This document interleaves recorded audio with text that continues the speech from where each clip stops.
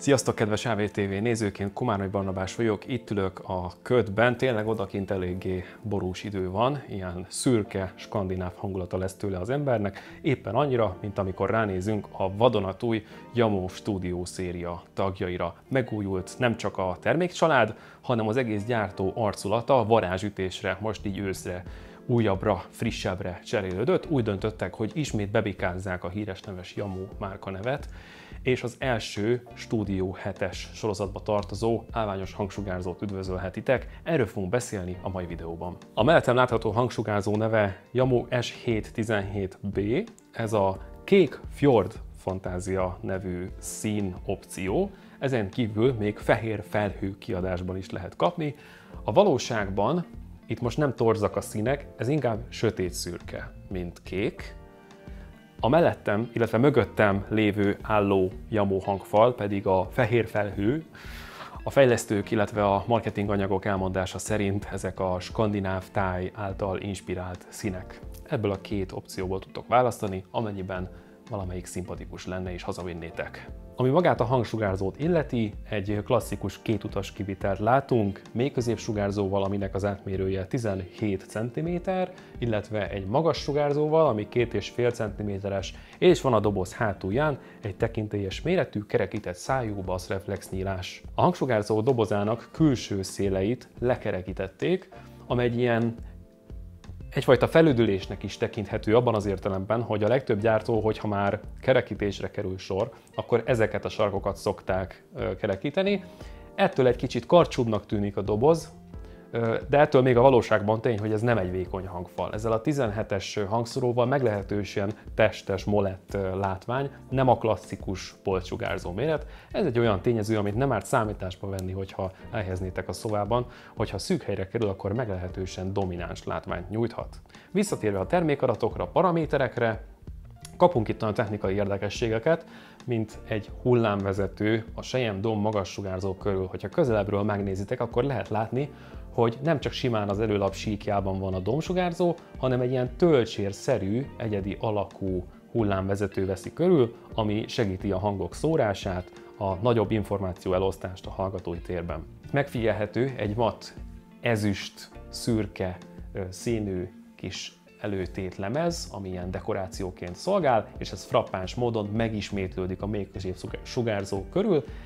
Ezeknek köszönhetően nincsenek látható csavarfejek vagy bármilyen oda nem illő fém elemek lyukak az előlapon, hiszen az előlapi védőrács is mágnesesen illeszkedik föl rá, ami pedig a mély középsugárzót illeti. Ezen megfigyelhetők ilyen T-alakú domborulatok körben, ezeknek az a funkciója, hogy extra merevséget adnak hozzá a papírmembránhoz. Amikor előre-hátra mozog a membrán, hogyha ezt nagyon sokszorosan lelassítanánk, akkor intenzívebb járatáson a T betűk nélkül jobban hullámozna a membránnak a felülete, mint ezekkel a hozzáadott merevítésekkel. Tehát ennek a kis motivumnak, amit a Jamó Tor kalapácsa fantázia nével illetett, ez a célja, hogy merevítést adjon hozzá a hangszóróhoz. A hangszóró mögött még találhatóak Faraday részgyűrűk, illetve egy erősített extra masszív mágnes alumínium karikákkal. A doboznak az alján ez a szürke sáv nem az MDF kamrának a folytatása, hanem egy különálló műanyag kamra, ebben található a keresztváltó. A gyártó elmondása szerint azért döntöttek úgy, hogy ebbe a külön talprészbe helyezik el a keresztváltó áramkört, hogy az kevesebb vibrációt vegyen át a hangszoroktól, ezáltal jobb lehessen a hangminőség. Illetve, ahogy azt ti is láthatjátok, nem a padlónk és nem is az állványunk ferde, hanem maga a hangsugárzó. 7 fokban megdöntötték az összes Studio 7-es sorozatú hangfalat. Jól sejtitek azért, mert hogy ha már 7, akkor legyen megdöntve 7 fokkal, és ez azért is jó, a fejlesztők elmondása szerint, mert így a hangszórók egy kicsit megdöntve azonos akusztikai középpontból jobb fázissal tudják megszólaltatni a hangokat. A Yamónak rendelkezésére áll egy számítógépes algoritmus, részben azzal, részben pedig hallgatói tesztelésekkel finom hangolták a Studio 7-es szériát, a részletekre visszatérve, itt láthatjátok a már említett reflexnyílást, aminek a belsője nem WC papírguriga, hanem műanyag, és a szája le van kerekítve annak érdekében, hogy a csőzaj az ne ilyen berregő, böfögő hangzás legyen, hanem egy egyenlítettebb, brummogástól mentesebb mély hang.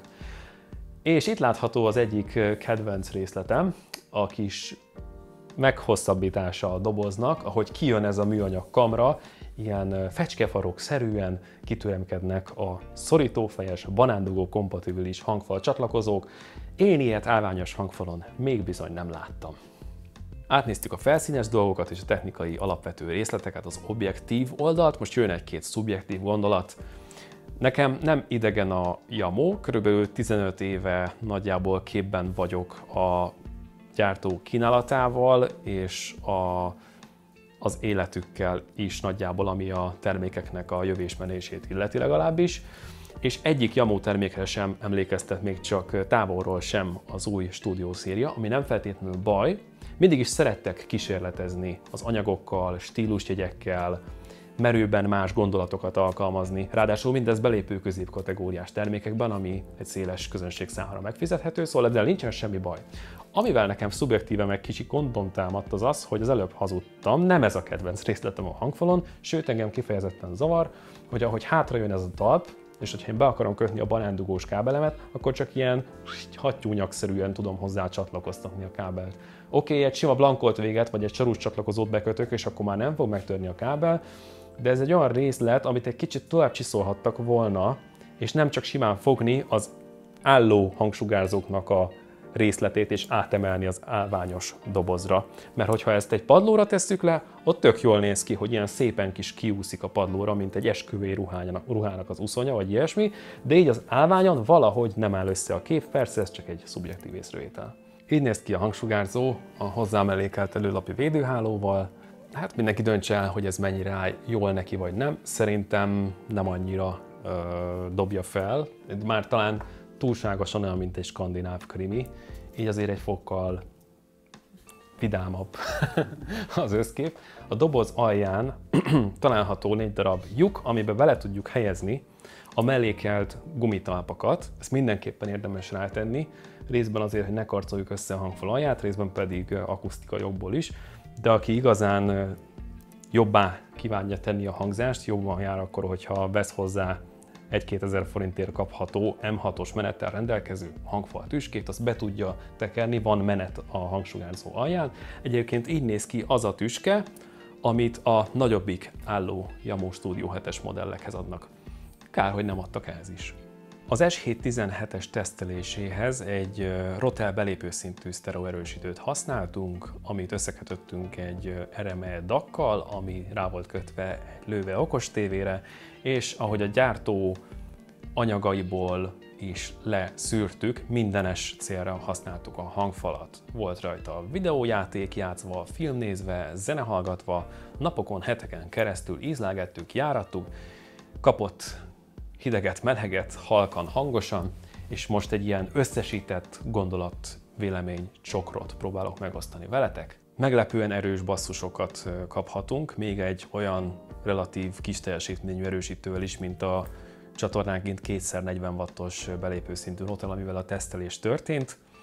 Hogyha valaki a könnyű zenei műfajokat részesíti előnyben, akkor ő kifejezetten szeretni fogja azokat a az energikus, masszív, nagy léptékű mélyhangokat, amik ki tudnak szabadulni ebből.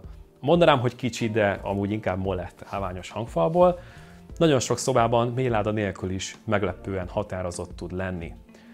A mélyhangoknak az intenzitása mellé 40 Hz alatt logikusan inkább egy ilyen elengedés társul, tehát a leges legalja a mélyhang információnak nincsen megfogva, azt csak úgy hagyja elmenni a hangfal, nem tudom, hogy ez így mennyire érthető, illetve 50 Hz környékén hajlamos egy kicsit ilyen extra lelkességet belevinni a zenétől, ami nagyon sok esetben ad egy extra melegséget, ez nem feltétlenül baj, mert egy kicsit fülbemászóbb lesz a zene, de nyilván az ilyen a nagybőgő, ilyesmi akusztikus részleteket nem a legpontosabban jeleníti meg, hogyha mély hangra kerül sor, inkább a játékosságra és az élvezetre próbál meg fókuszálni. A középső hangok viszont ennél egy fokkal áttetszőbbek és tisztábbak. Az ének hang megjelenítés az a játékos basszushoz képest meglepően száraz, nem feltétlenül rossz értelemben.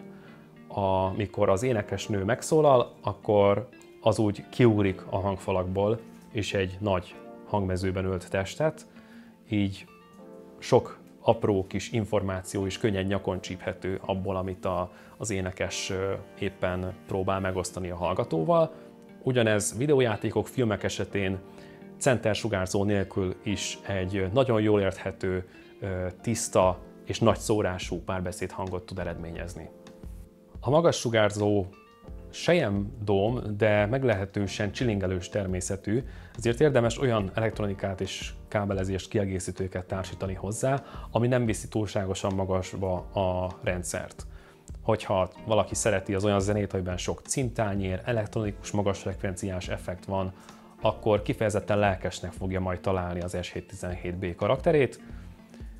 Ez egy köszönhetően a hullámvezetőnek meglehetősen széles és nagy volumenű hangmezővel jár, meg is van a tagoltsága, meg az irány, iránya a részleteknek, lehet érzékelni azt, hogy a zenészek különböző irányból jönnek be, de a stereo középpont részben a hullámvezető miatt meglehetősen elnagyolt. Nincsenek konkrétan középre zárva a részletek, lehetne szilárdabb és fókuszáltabb az énekesnek a megjelenítése, de ebben a kategóriában nem biztos, hogy ilyen részletességet még el lehetne várni. Nem szabad elfelejteni, hogy a stúdió széria mindig is a jamó és globálisan a hangfalak belépő kategóriáját képviselte. Tehát összegezve a hangzást, a mély hangok erőteljesek, a középső hangok inkább előrefele nyomulnak, de meglepően tiszták, a magas hangok pedig csilingelőek, játékosak, és még épp hogy nem túl fárasztóak. Összességében egy ilyen allrounder,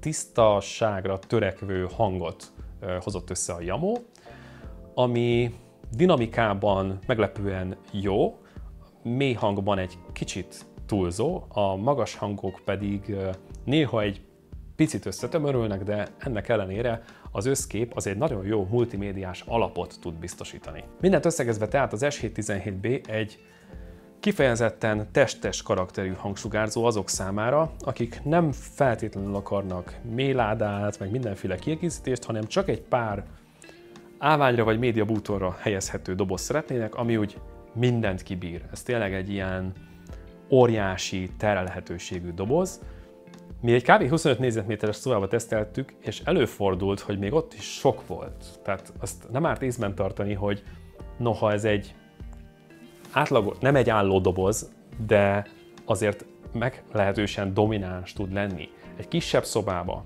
10-15 négyzetméteren szinte biztos, hogy bőségesen elegendő lesz ennek a kisebb tesója is. Tehát, hogyha nem tudtok dönteni a kettő közül, a legjobb az, hogyha összehasonlítjátok a kettőt, ha tehetitek, akkor hallgassátok meg, van rá lehetőség a bemutatóteremben.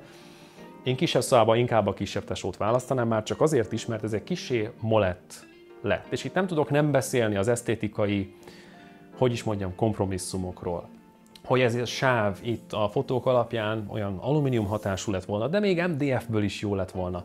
De úgy, hogy műanyagból van, egy kicsit leolcsósítja az összképet. És ezt annak tükrében mondom, hogy oké, okay, hogy a stúdió széria mindig is a jamó belépő szintje volt, és oké, okay, hogy most válság van meg minden, de hát 230 ezer forint a pár, és így, hogy egy része a hangfalnak műanyag, ez megosztó tényező lehet egyesek számára.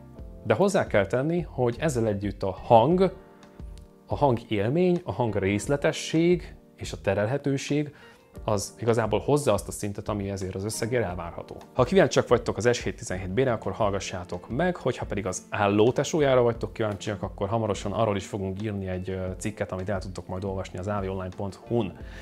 Ha kíváncsiak vagytok egyébként, hogy konkrétan van-e különbség, mi a különbség a kettő között, akkor dióhéjban annyi, hogy annak még több mély hangja van. Ugyanaz a középsugárzó, még középsugárzó van rajta, mint az S717-ben, csak kiegészül még egy mély sugárzóval, tehát annak már viccen kívül méládaszerű basszusai vannak, úgyhogy ha valakinek mindene az extra, pumpáló, kemény, masszív mélyhang, akkor az állótesót válassza. Hogyha pedig valaki egy játékos, lendületes, izgalmas mélyhangot szeretne, ami még nem döngeti szét a melkasodat, de azért gazdagon ott van, akkor a kisebbik tesó is bőven elég lehet.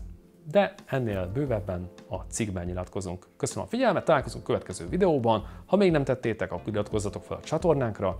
Mielőtt a következő videónkat megváljátok, feltétlenül látogassatok el közösségi felületeinkre. Most már nem csak Facebookon és Instagramon, hanem TikTokon is ott vagyunk, lehet minket követni. Találkozunk a következő videóban. Sziasztok!